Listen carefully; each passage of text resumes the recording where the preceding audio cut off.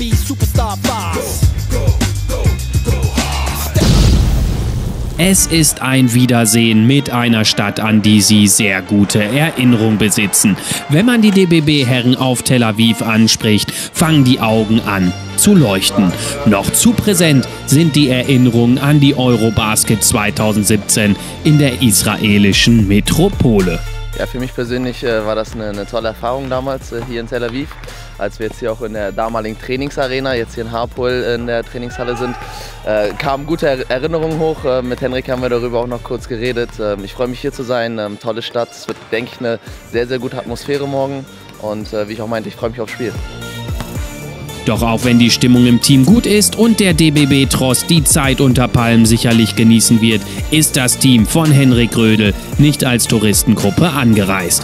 Der Fokus liegt bereits voll auf einem erfolgreichen vorletzten WM-Qualifikationsspiel.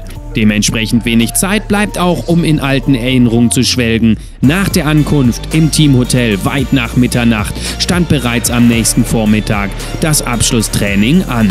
Henrik Rödel und sein Trainerteam nutzten die Gelegenheit, um ihrer Mannschaft die letzten taktischen Anweisungen mit auf den Weg zu geben. Dabei half natürlich auch die Analyse des Last-Minute-Siegs aus dem Hinspiel in Leipzig. Ja, natürlich äh, guckt man sich in der Analyse dieses Spiel an. Äh, in der Endphase natürlich ein, ein, Spiel, das man so nie wieder erleben wird und auch ein ganz besonderes Spiel, ein ganz besonderer Sieg für uns auch. Damals mit dem Sieg natürlich auch unsere Qualifikation festgelegt haben. Also für uns ein ganz, ganz besonderer Moment. Aber jetzt auch wieder anderer Kader. Natürlich guckt man sich Sachen an, ist vielleicht ein bisschen besser vorbereitet, weil man auch paar, etwas mehr Zeit hatte. Äh, von daher also eigentlich eine ganz neue oder andere Situation, wo man hoffentlich aus dem ersten Spiel einige Sachen mitgenommen hat und dann auch gelernt hat. Auch wenn Israel derzeit mit vier Siegen und sechs Niederlagen nur auf Platz 5 steht, erwartet die DBB-Herren ein alles andere als leichtes Spiel.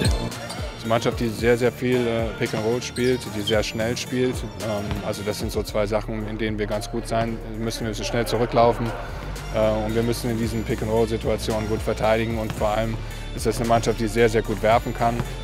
Und äh, da müssen wir nah dran sein und ihnen keine freien Würfe geben. Bleibt zu hoffen, dass dieser Besuch in Tel Aviv den Adlerträgern ähnlich gut in Erinnerung bleibt wie der letzte. Superstar vibes.